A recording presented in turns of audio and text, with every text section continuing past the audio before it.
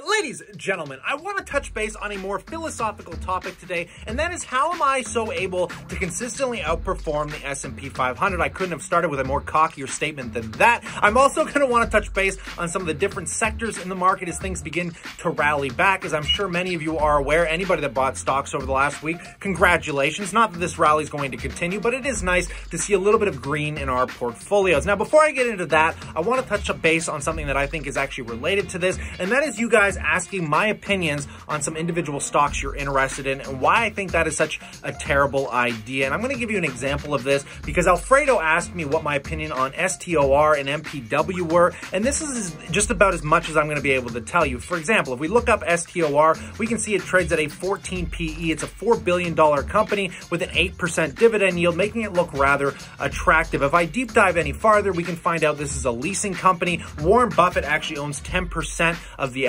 outstanding shares. I can get into their presentation that shows us their exposure to, say, manufacturing, retail, and services. Mind you, they have a rather large exposure, in my opinion, to restaurants, which probably aren't performing that well through this economic situation. And if I go even farther into their balance sheet, I could tell you guys that they have an incredible debt to asset ratio with a total assets of 8.2 billion. Total liability of 3.8 billion means their trading market cap is extremely close to their underlying asset value. And the last five year performance has been unbelievable. But should you buy that stock on what I just told you?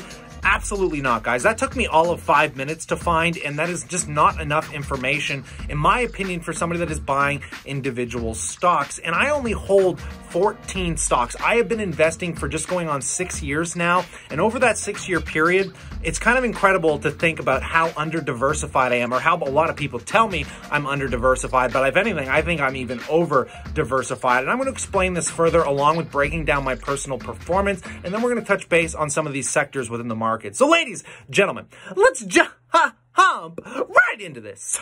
Drop it.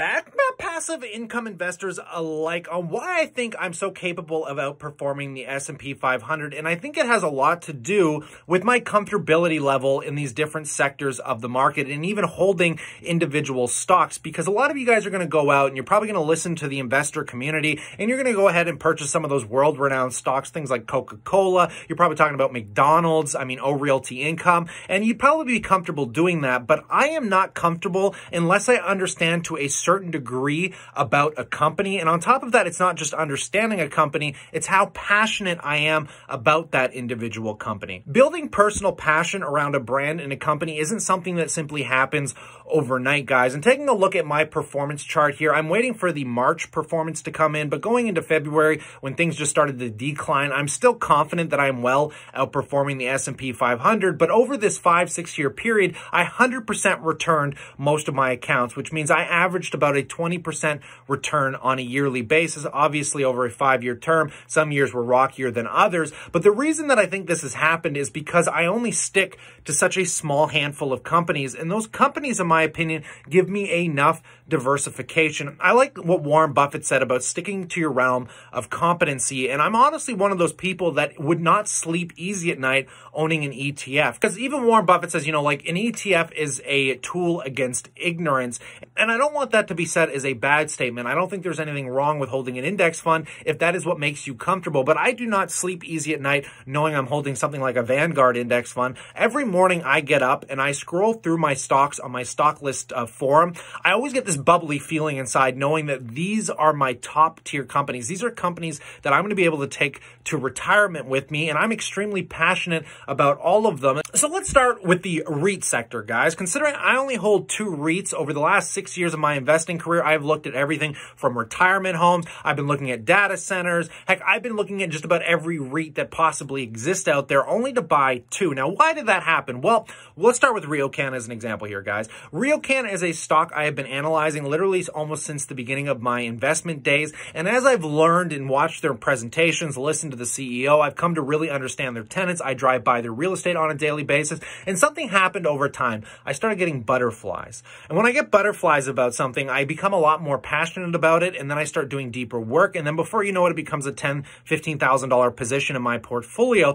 And when I compare it to other REITs, I mean, I see some similarities, but there's things that stick out to me that don't fit my philosophy and my circumstances and conditions I require to buy that specific stock. For example, I would love to buy something like an O Realty Income, but I have my tax advantaged accounts max, and for me to purchase something like an O Realty Income, the dividend yield is rather low. And considering I'm a Canadian citizen, I would have to pay over the border withholding tax, which is 15%. So not only am I not buying in a tax advantaged account, I would have to pay over the border tax, which means that dividend income would get cut by about 35 to 40%. And that is an incredible rate that I would love to buy. But for that reason, I'm just not buying it. Now let's use something like GEO Group as an example. My only U.S. REIT that I hold pays an incredibly large dividend being in the prison sector, an extremely unappealing uh, aspect of the real estate market. But why do I love it so much? Well, this company was almost like a game of chess to me. It's the ugliest real estate you could ever own, but it's extremely well diversified. They have tenants that are never leaving and taxpayers primarily pay for those people to be there. And I feel like it's a sector of the market that's just not going anywhere anytime soon. And that is one of the reasons this dividend yield is so high is because of the unappealing nature of the whole company. And on top of that, the reason I like it is because the dividend yield is so high. I have it in a tax advantaged account, so I'm stuck paying withholding tax, but I'm not stuck paying income tax on it. So to lose 15% of that dividend isn't really going to hurt me in the long run, but I've come to really grasp what that company's doing, where they're going, what the ins and outs are. In fact, I even got an email from somebody that wanted to use my footage I made on that company in a Netflix special, though I kind of denied them because I know they're just going to be battering that company. Those are stocks that don't ever appeal well in the news, but they appeal well to me. I just sleep really easy at night holding that company for my specific circumstances. And when I compare it to other REITs and look at the performance, there's just things that I don't grasp, things that I don't understand. So look, all these things come into play and it gets really overwhelming, guys. And let me give you an example about why I think even you are over diversifying. Do you treat your portfolio the same way you treat your working career? Do you have multiple sources of income from your applied work, not your stock portfolio, just your applied job? My guess is you don't. My guess is you probably show up to one job, you take that job income and you invest it and you live on it. That's not very diversified. You better hope your company has diversified income to protect your job. And I don't understand why people are so comfortable with that, but they're not comfortable with just holding a few companies within their portfolio. Because taking a look at something like RioCan, it is giving me exposure to some of the top tier tenants out there. And on top of that, I'm getting exposure to hundreds of pieces of real estate across different provinces in Canada. Why do I need more exposure than that? Those 14 companies I hold make up trillions of dollars, hundreds of thousands of employees. Why do I need more than that? It's it's a serious question here, guys, because I look at a lot of people on M1 Finance and Robinhood, and they seem comfortable holding 40 or 50 different companies, but they don't mind showing up to their one job that is severely undiversified, but they understand their job well and they're comfortable showing up to it. And in my opinion, I want to be so comfortable and so passionate about these individual companies that I hold, I get the same feeling behind my work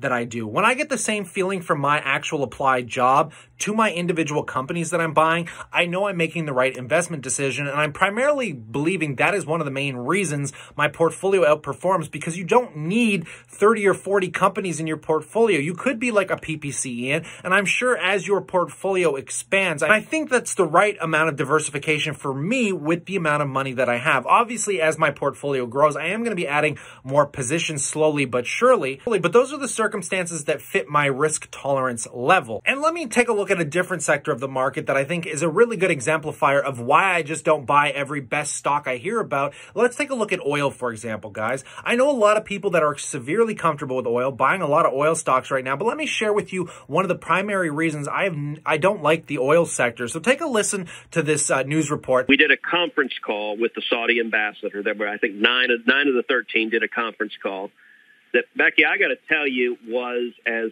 candid a call uh, and and direct a call as I've ever had with a foreign leader. Where the nine of us, I mean, we quite frankly unloaded on her. And, and, and their defense was essentially, well, but Russia, but Russia is doing this. And I can tell you my response. I said, well, that's fine, but Russia is not our friend. We know they're not our friend, and we treat them accordingly. We are aware their intentions to us are malign. The Saudi kingdom is supposed to be our friend, and we are a military ally, we are a diplomatic ally, and you are not behaving like a friend when you are trying to destroy thousands and thousands of small businesses all across Texas and the country. And, and so the senators on the call with the ambassador urged vigorously, and we said, listen, there are a whole series of steps we can take to escalate foreign policy pressure. And we outlined a number of them. If you continue engaging in economic warfare against the United States, trying to drive down the price of oil in order to, to, to exploit this crisis to drive a bunch of American okay. producers out of business. I'm hopeful taking a look at the global scale and impact oil has on the economy and listening to a conversation like this sounds like a bunch of little kids. It sounds like the U.S., oh, you're my friend. You're not supposed to do this. I, we're not friends with Putin. Putin has nothing to do with it. Like listening to that doesn't make me sleep comfortably at night. And I do not want to own a sector of the market that has that kind of reality behind it where people can come in and manipulate it. There's no real price control over anything. And it makes it very unstable going forward because you just don't know what happens to the oil price. I mean, they could get control of Saudi and the price could skyrocket. Saudi might keep giving everyone the middle finger and say, no, I'm going to bankrupt you all and I can afford to do it. I mean, it's just, it's such a weird political child yelling game. I don't want to be exposed to a product like that. I like being exposed to my few products. And don't get me wrong, I don't understand my products to like a hundred percent extent. I mean, go take a look at like a balance sheet on a bank. I mean, that is so unbelievably complicated, but I use these banks. I understand the Jiffy Lube of the banks, you know, like the fact that their mortgages, interest rates are down, so they're probably not making as much money. They make money off ATM fees. I mean, I understand some of their fee structure, but if I was to be honest here and tell you I understand 100% the banks that I hold, I'd be lying. I don't, but I'm comfortable with the level of knowledge I have behind them to hold them. I am not comfortable with that same knowledge behind the oil sector. There's just too many variants that don't make sense. The oil sector is not backed by the Canadian Treasury or the U.S. Federal Reserve like the banks are. There's just a lot of other circumstances that come into play. Now, when you take a look at all these different sectors and these few companies that I hold, guys, I can just ding it off the top of my head. I understand them quite well. I understand my tobacco giants, British American Tobacco. We're talking about um, Altria Group. I mean, we're talking about utilities. My Northland Power has incredible diversification and expansion in Germany. We're talking about they're trying to expand into, like, I think Japan. We got Southern Company dealing with some new uh, nuclear facilities that are coming online. Like, I can just name this stuff off the top of my head. And like I said, every day I scroll through that stock list, it is a lot easier for me to understand the diversification I have in these 14 companies than it is to understand, you know, having 50 companies or an entire ETF. Though again, I'm not saying that that might be your comfortability level. And let me know in that comment section below. Are you more comfortable holding uh, ETFs? Are you comfortable diversifying your Robinhood or M1 Finance account with 50 or 100 stocks, only having maybe five or 10 grand in the account? And I'd love to know your performance on that, guys. I'd be very interested to find out. But when I can understand these companies in a much more condensed manner and I can understand where they're going, I get a better performance overall. And I mean, Warren Buffett always said if you could only hold 20 stocks in your entire life, chances are you're going to take your sweet time understanding those 20 stocks. And like I said, guys, I've spent six years investing. Mind you, there's companies that I used to hold that I don't hold anymore for whatever specific reason. But over this six year period, I've only built out an entire portfolio of 14 stocks. I mean, you guys have probably only been investing for a year and your heads are against the wall and you're probably just buying everything. And again, I'm not saying there's anything wrong with that. It just doesn't fit my philosophy for investing. But I would love to know, as always, what you guys think about this in that comment section below. So stay cool, stay awesome, and I look forward to chatting to you tomorrow.